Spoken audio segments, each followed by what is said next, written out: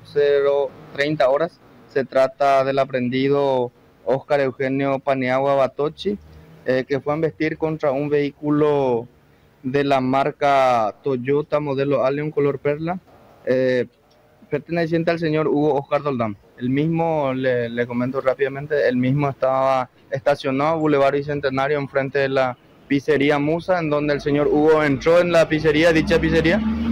Eh, posterior escuchó un ruido, un ruido y salió a verificar, eh, en donde encontró que su vehículo fue embestido por otro vehículo. Le siguió, el señor Hugo le siguió y sobre, la, sobre el mismo boulevard enfrente de World Gym le, le interceptó y quisieron hablar ahí y se llamó a la policía, la policía llegó y en ningún momento se pudo dialogar con el señor Batochi, motivo por el cual el personal policial le trasladó hasta la base de la patrulla caminera para la prueba del cote.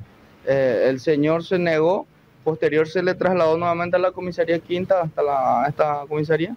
Se dio comunicación a, a la agente fiscal, doctora Noelia Soto, en donde manifestó que se queda aprendido y su vehículo incautado y la otra parte que se le dé libre circulación.